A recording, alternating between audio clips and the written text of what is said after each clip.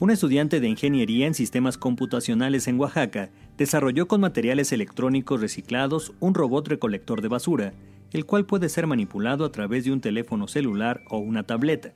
El robot se llama Tushusinu, que en zapoteco significa nuestro resplandor, indicó el alumno del Instituto de Estudios Superiores del Istmo de Tehuantepec, Dalí López López, en una entrevista con la agencia informativa del Consejo Nacional de Ciencia y Tecnología. Los materiales que usó el estudiante para desarrollar la máquina fueron tarjetas madre de computadoras dañadas, placas fenólicas de circuitos quemados, servomotores y motorreductores reutilizados. El estudiante señaló que el objetivo del proyecto fue crear un prototipo capaz de recolectar desechos a partir de materiales reciclados y que sirviera como un modelo para manufacturar robots a mayor escala.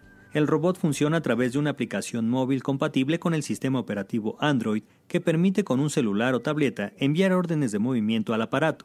El alumno pretende ahora generar mejoras en el prototipo para volverlo multifuncional, pues en su versión inicial usa unas pinzas para recolectar, por lo que se busca que realice otras tareas como barrer, empujar y cortar objetos. Notimex.